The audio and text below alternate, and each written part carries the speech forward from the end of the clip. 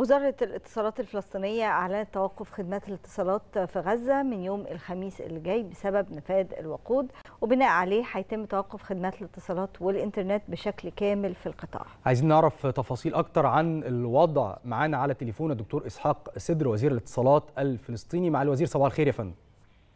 صباح الخير صباح الخير جميع المستمعين. يا أهلا بيك. في البداية عايزين نطمن ونعرف الوضع عامل إزاي دلوقتي بالنسبة للاتصالات داخل القطاع. يعني يعني ما تبقى من عناصر الشبكة بتغطي حوالي 30 35% من من المشتركين. ولكن يعني من من اليوم راح نبلش نفقد عناصر أساسية من الشبكة بسبب نفاذ الوقود واستنفادنا لكل السبل إنه نبقي هذه المحطات على يعني على حالها قادرة إنها تعمل لأنه غياب الكهرباء والوقود يعني هو أحد الأسباب الرئيسية اليوم غير يعني ما نتج عن الدمار. إحنا كميات الوقود يعني اللي اللي بتوفر راح يعني نقدر نشتغل لعند يوم الخميس. في خلال يوم الخميس راح راح ينفذ الوقود وراح يتوقف البث بشكل كامل.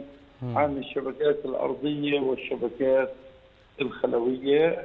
بالأمس إحنا أعلنا هذا الحكي حتى يعني جميع اللي المواطنين والمؤسسات الإغاثية وغيرها إن يكونوا على علم إنه في هذا في هذا التاريخ يعني وفي خلال هذا اليوم اللي هو الحديث 16 11 راح يعني يكون توقف كامل بسبب نفاذ الوقود في حال توفر وقود في هذه الفترة يعني لكل حادث حديث يعني إحنا الكميات وال والقدرة الكميات هذه على تشغيل المحطات مدروسة بشكل كامل وعلمي ويعني إحنا يعني ما بنقدر يعني الشبكة تتوقف ويكونوا الناس مش داريانين فهذا من واجبنا ان ندري الناس. طبعا.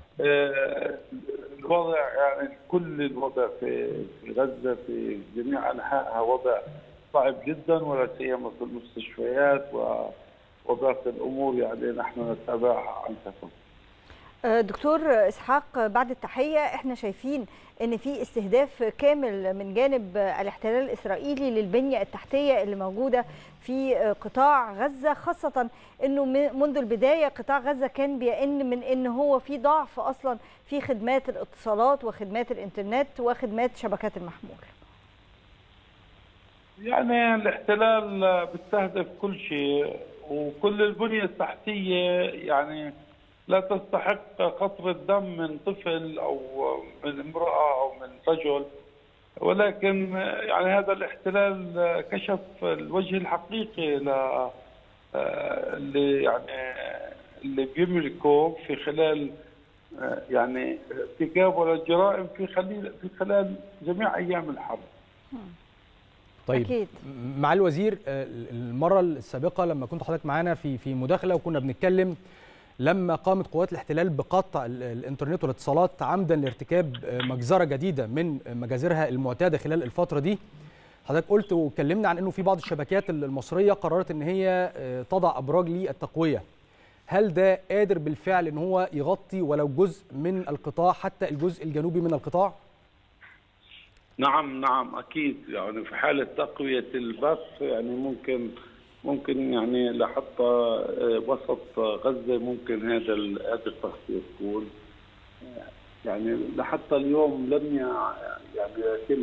الأهم من تقوية البث هي فتح التجوال لحاملي الشرائح من الشركات الفلسطينية لأنه حسب ما بتعرفوا التجوال على الشبكات المصرية للهواتف الفلسطينية يعني موقف. هذا المهم. ف يعني إحنا ننتظر إنه يكون في لكن أكيد, يعني أكيد في تنسيق ما بينكم وبين وزارة الاتصالات في مصر. نعم مع وزارة الاتصالات يعني يعني وهيئة تنظيم قطاع الاتصالات إحنا على تواصل ولكن لحتى لحتى اليوم ما ما في أي تقدم على الأرض في هذا الموضوع رغم إنه يعني أبدو يعني تجاوب إيجابي في هذا الموضوع في في تواصلنا معهم. سياده الوزير كان في مؤتمر لوزارة الاتصالات بيتكلم عن الخطة بقى اللي هتحصل وماذا يحدث على أرض الواقع، لو حضرتك تقول لنا ماذا حدث في المؤتمر؟ في المؤتمر إحنا يعني أعلنا ل ل للعالم كله وللمواطنين وللمؤسسات إنه التاريخ تاريخ انتهاء ونفاذ الوقود بشكل كامل. الوقود اللي بيشغل عناصر شبكات الاتصالات. وهذا الحكي يعني من من من اليوم راح تبلش نفقد بعض العناصر الأساسية في الشبكة. ففعليا راح يعني الأيام القادمة نشوف تأكل في يعني القدرة على تغطية بعض المناطق ولكن يوم الخميس يعني يعني تتوقف جميع المولدات اللي إحنا يعني نستعملها لتشغيل المحطات المحطات الأرضية والرئيسية والفرعية وكذلك الأبراج الهوائية اللي يعني بتقدم خدمات الاتصالات الأرضية والخلوية واللي كمان عليها يعني يعني موضوع اللي هي الخدمات الإنترنت. يعني المسألة مع الوزير مش مقتصرة فقط على الإنترنت الاتصالات هي كمان هتتأثر. إحنا عايزين بس نطمن على الموضوع ده ليه؟ لأنه على الأقل الناس بتطمن على بعض من خلال الاتصالات اللي هي العادية أو بيطلبوا سيارات الإسعاف أو بيطلبوا قوات الدفاع المدني.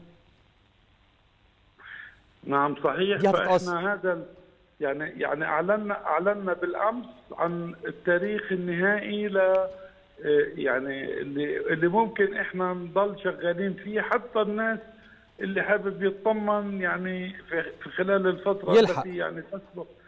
يلحق بالضبط. ولكن عمليات الإغاثة طبعا يعني كما حصل في في الثلاث مرات اللي قطع تم قطع الاتصال بشكل متعمد من الاحتلال فقدنا كل حتى يعني وسائل الاستغاثة والإغاثة في من خلال الاتصالات. شكرا جزيلا. اذا غزة بلا اتصالات وبلا إنترنت بداية من يوم الخميس القادم بحسب كلام طبعا الدكتور إسحاق سدر وزير الاتصالات الفلسطيني. بنشكر حضرتك طبعا جزيل الشكر.